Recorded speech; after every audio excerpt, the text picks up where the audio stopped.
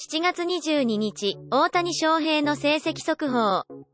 本日は、投手権2番 DH で、パイレーツ戦に先発出場しました。打者成績は、4打席、1打数、安打なし、3四球、打点、盗塁なし。第1打席フォアボール。第2打席フォアボール。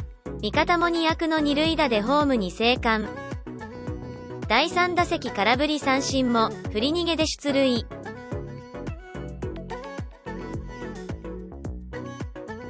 第4打席相手のピッチクロック違反15秒超過でフォアボール。投手成績は7回途中87球を投げて、被安打6、基本塁打4、5失点自責5、9奪三振、2四死球。味方の援護を受けて8勝目を達成。試合後の大谷翔平の打撃成績、打率305、5位、ホームラン35、1位、安打111、2位タイ。打点76、2位タイ、OPS1.076、1位、盗塁11、26位。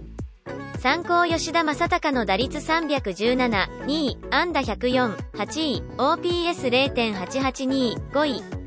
試合後の大谷翔平の投手成績、勝利数8、10位タイ、防御率3.71、17位。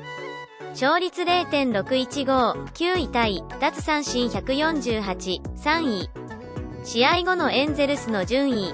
試合は5対8でエンゼルスがパイレーツに勝ちました。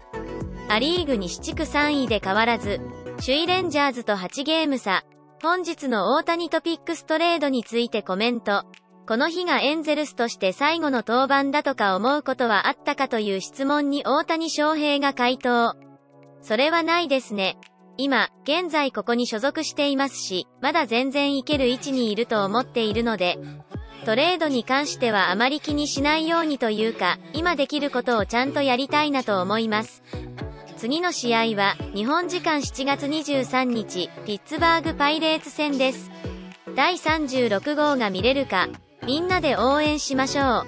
結果は、このチャンネルでチェックしてください。大谷翔平の試合当日には、毎日投稿しています。チャンネル登録してお待ちいただけると、大変励みになります。